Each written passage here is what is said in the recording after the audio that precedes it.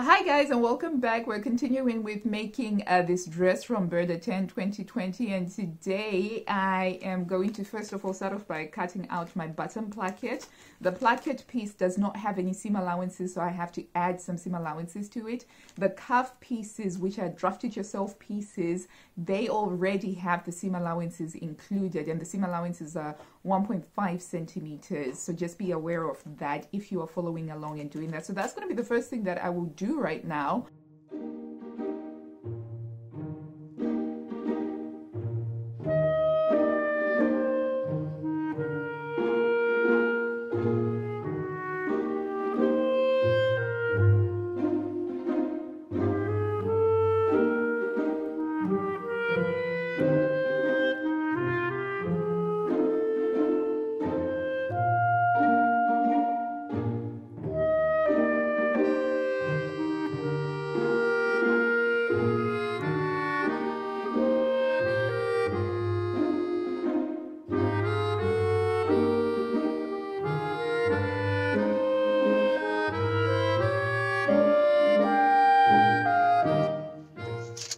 I'm going to sew up as much of the navy blue stuff as I can, first of all, because my 201K is preloaded with the navy, um, with the navy thread before I then move on to the mustard. So uh, first thing that we're going to do, very simple and straightforward, it's the tie belt. I just have to sew it along the outer seams uh, folded. Actually, it has to be folded and then sewn along the um, outer seam. Leave a little bit of a hole so that I can then uh, turn it in. And then we have the belt, which needs um, some fastenings at the back. So I need to kind of think about what sort of fastenings I will put on there. So I'm just going to sew the the outer edges first and then I'll leave the section that's going to need some fastening until I can decide what it is I'll use. And then we have the collar. I'm just going to do the outer bits of the collar and leave it so that it will be ready to be attached to the bodice. And those are the only navy blue uh, pattern pieces that I have. And then once those are done, I can change over the thread and go over to the mustard.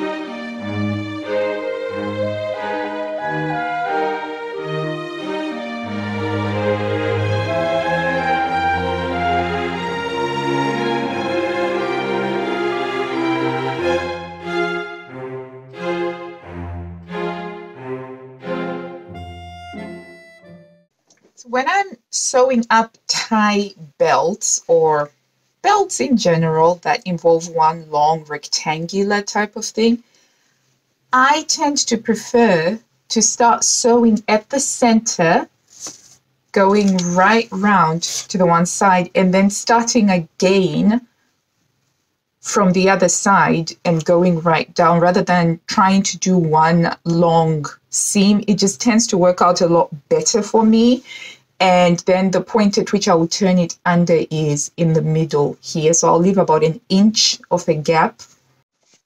Okay, the band has been uh, sewn up. Uh, so the tie band, that's the thing that's going to go like this and I can just do that. Okay.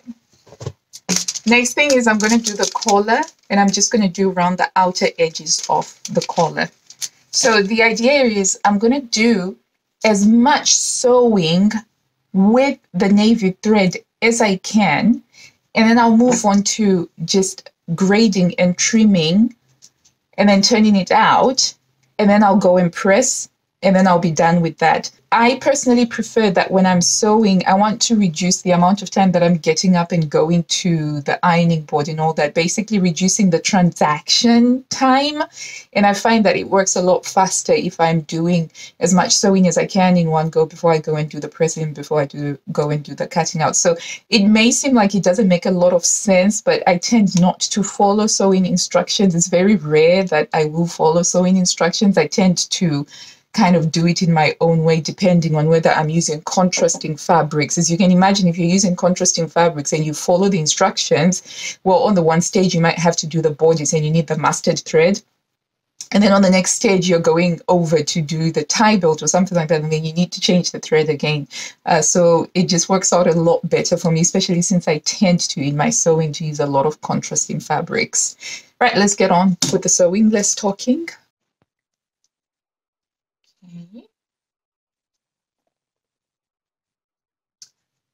when i'm sewing collars you have the one interfaced bit and then you've got the uninterfaced bit I prefer to have the uninterfaced um, section of the collar against the feed dog. And that's because the feed dogs, they pull the fabric in at a slightly faster rate than the upper uh, fabric. If, yeah, if you can imagine that, it's sort of like the tread on the bottom on the feed dogs where it's jagged, it tends to pull the fabric in a lot better.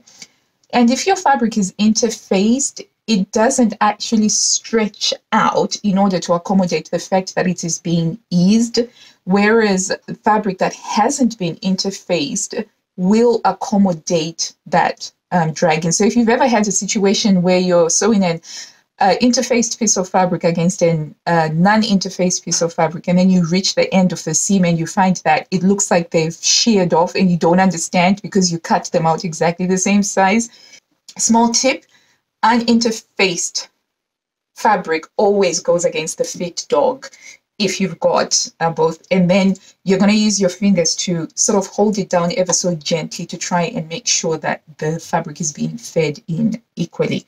Vintage sewing machines are pretty awesome when it comes to that because I don't know, just engineering from ages ago was super amazing. So I tend to find that I don't have as much of a problem with it as I do with the more modern sewing machines.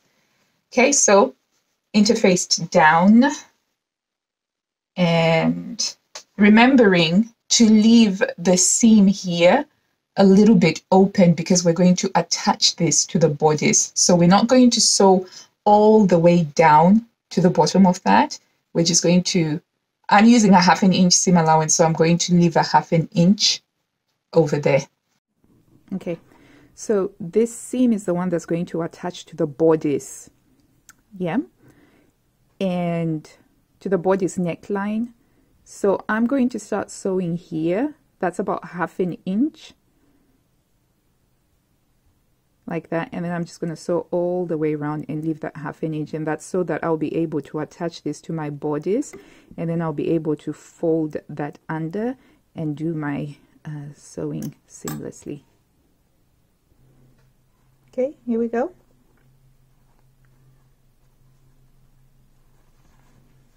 Okay, next up is the belt. And we're going to sew all along that top edge and that bottom edge. And we're going to leave these sides um, open because I haven't decided how that's going to work. Okay, so now I have my tie belt, my collar, and the waist belt. Uh, they're ready now. So I'm going to use my good old-fashioned pinking shears. I'm just going to trim the corners and I'm going to turn them out, give them a nice press, and then I'll put them to the side and they will come into play at a much later stage when I get to finishing off my bodice with the collar and when I get to the point where I try and figure out what to do with the belt. But it means that I don't have to worry about loading the machine again with a different thread and what have you.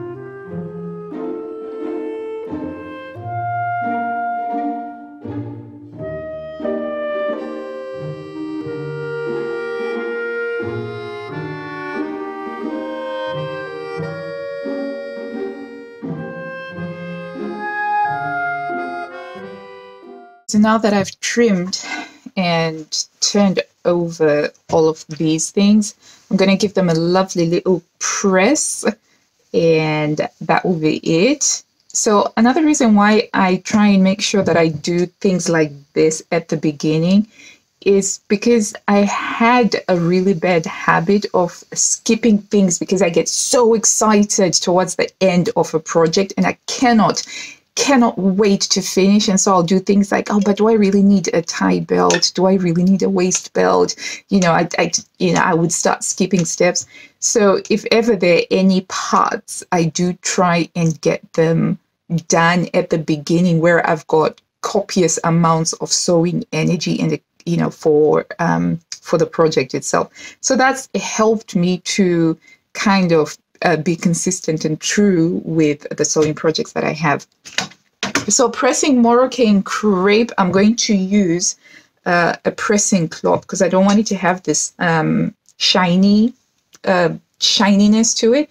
So I'm going to use the silk organza press cloth, which I made myself. I just bought um, some half a meter of silk, 100% silk organza, overlocked the edges, uh, sewed down a little ribbon for it to hang from. And I've never looked back. I've had this for, I think, about five years now. So it's a good piece of fabric. Right, so we're going to press these and then change over the thread in the sewing machine.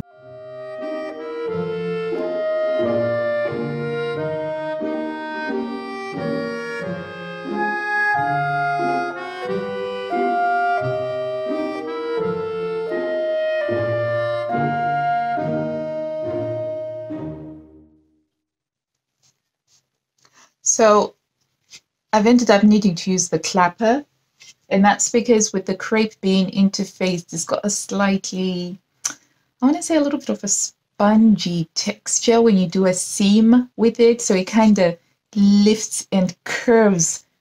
It's really beautiful if you're going to be doing uh, haute couture stuff. I guess if you want to have that unpressed seam look, but personally, I, I like for my seams to be nice and flat, as flat as you can get them. So I'm using my trusty clapper.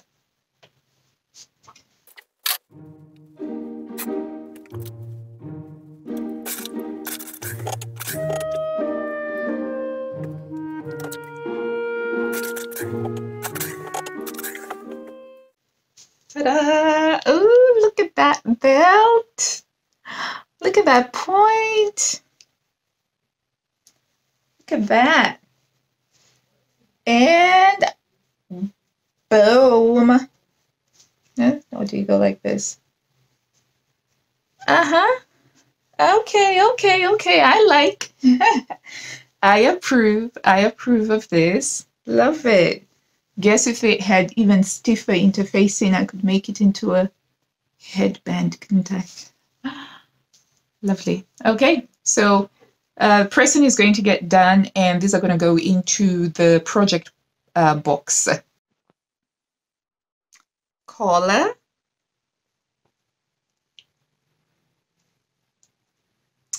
Ah, yeah. Look at that. Actually, separately, I think that these colors go really well together as well. What do you think? I always get so excited when I get to this point where, you know, just these random flat pieces of things come together and they make something. So I had just like two odd looking shapes, sewed them together, and you've got something that looks like a collar. So, yay! this is what I mean about the poofiness of the seam. So this is an unpressed seam, what it looks like and then that's why it looks like pressed. So it does have if you like the haute couture look this could be a nice thing to have but I, I, I like to to press everything out. I like them nice and flat. But you know maybe one day I might make a just a little neck scarf and it's got the poofiness so there's my neck tie belt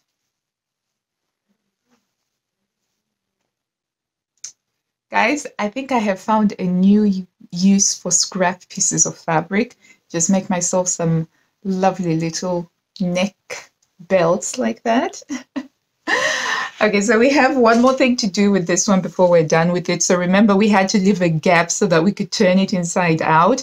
um, hand sewing or using a sewing machine, your choice. We just need to cover um, that up. I am going to do some hand sewing uh, simply because it looks very, my fabric looks really nice and neat. And if I do a top stitching line, eh, it's not going to look all of that great. So I'm just going to take the extra five minutes to do just a little bit of hand sewing.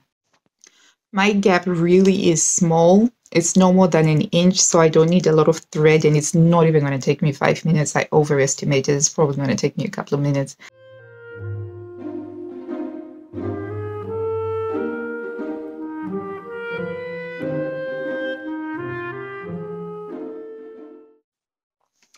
That's it, done, not even a minute. But it does look a lot better than just by top stitching it. I suppose if I wanted to just top stitch all around it, you could do that, but I don't want to. But yeah, we've got a tie belt. So I think I'm about 5% done now. If you imagine the sewing project as a download bar, which is kind of how I see the sewing projects, it's like a download bar. I'm now like at the 5% mark. Yeah. I realized that I'd forgotten to cut out the pocket uh, pattern pieces because as I mentioned previously, I'm actually going to move away from the double welt pockets at the front and actually do some side seam uh, pattern pieces. This is my standard template that I use for uh, pocket side seam pocket pattern pieces. I'm actually going to repurpose this fabric that I had cut out for the welt pockets. I can just about get this. Um, yeah.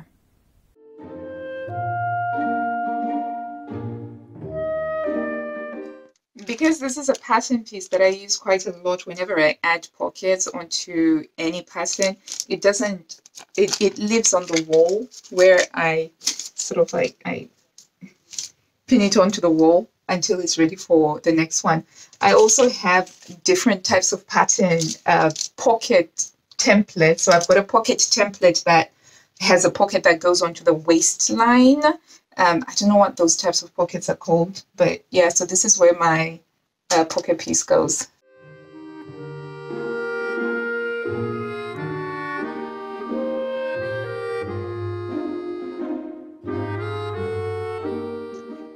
I always do a test run after I've rethreaded a machine because it's not unheard of for me to sometimes just make a little bit of a mistake and then it doesn't work well.